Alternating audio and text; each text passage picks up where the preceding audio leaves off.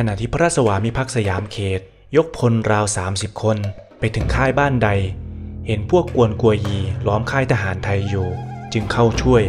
พวกห่อสู้ไม่ได้ก็แตกหนีไป พระสวามิภักดิ์จึงรีบแต่งหนังสือให้พวกของตน ถือไปเกลี้ยกล่อมองค์บาให้เข้ามาเป็นพวก โดยมีใจความว่ากองทัพไทยที่ยกมานี้ใจจะมาปราบปรามพวกห่อทั้งหมดไม่ จะปราบเฉพาะพวกโจรผู้ร้าย ซึ่งมารบกวนย่ำยีในพระราชอาณาจักรขอบเขตสยามเท่านั้น อย่าให้องค์บามีความกลัว ให้เร่งมาหากองทัพ แม่ทัพจะชุบเลี้ยงเป็นอย่างดี และตัวท่านก็มีจิตใจเป็นธรรมะ ละสิ่งชั่วร้ายทั้งหมดแล้ว ควรจะกลับใจเสียใหม่ เมื่อนั้นองค์บาจึงตอบหนังสือว่า จะยอมเข้าสวามิภักดิ์กับกรุงสยามได้จะขอเกลี้ยกล่อมกวนกัวยีเข้ามาด้วย แต่จะขอบุตรและภรรยาของกวนกัวยี ที่ไทยจับไว้เป็นเฉลย คืนให้กับกวนกัวยีก่อน ครั้งเมื่อวันที่ 30 กรกฎาคม ปีพุทธศักราช 2429 กวนกอยีก็ถือธงขาวเดินเข้ามาที่ค่ายบ้านใด เพื่อขอสวามิภักดิ์พอเวลา 13 นาฬิกากวนกอยีกับพวกก็วางอาวุธ และขอคืนบุตรภรรยา เมื่อทำสัตสาบานต่อหน้าพระบรมฉายาลักษณ์ เป็นค่าขอบขันทศีมาตามธรรมเนียมแล้ว ก็อำลาพาบุตรภรรยาและพักพวกไปอยู่ที่เมืองฮ่งก่อน เมื่อแม่ทัพใหญ่ทราบดังนั้น จึงมีคำสั่งให้พวกกวนกอเย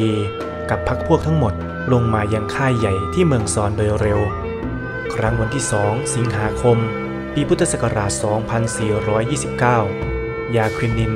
ก็ถูกส่งมาถึงกองทัพ นายแพทย์ประจำกองก็ได้แจกจ่ายให้กับทหารในค่ายแต่ละค่าย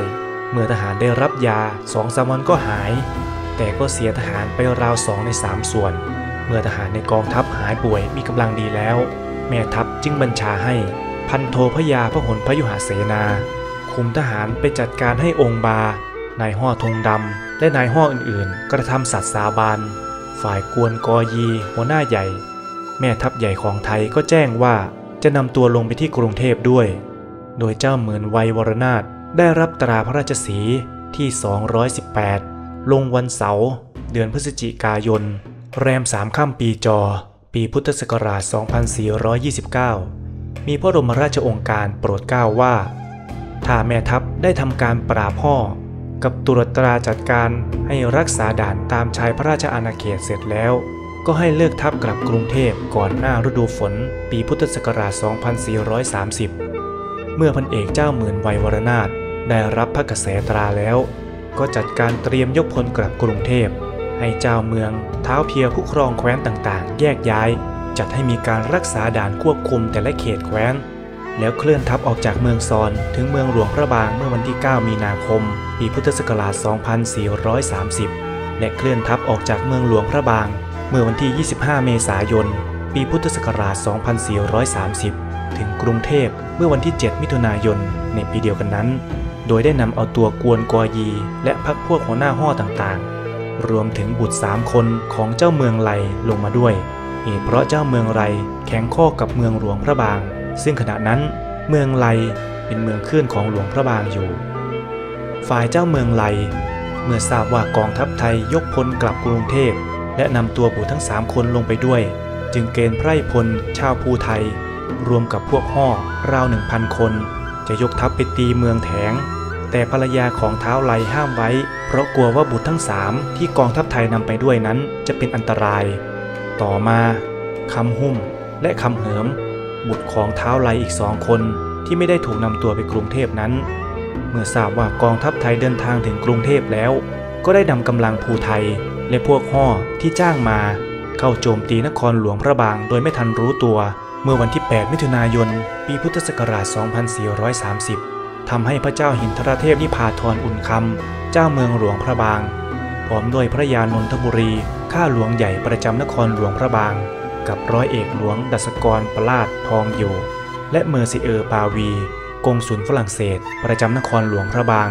ต้องหนีฮ่อล่องโขงมาพักอยู่ที่เมืองปากลาย ครั้งอยู่มา พระบาทสมเด็จพระจุลจอมเกล้าเจ้าอยู่หัว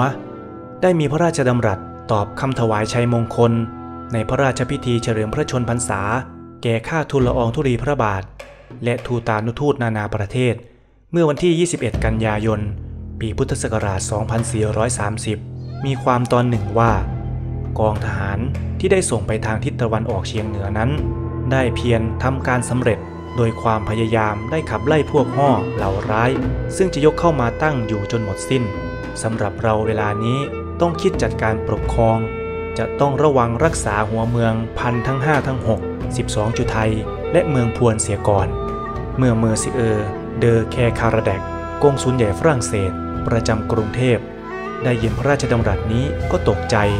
จึงรีบแปลพระราชดำรัสนี้ส่งไปให้เมอร์ซิเออร์โปรแปรที่อินโดจีนโดยด่วน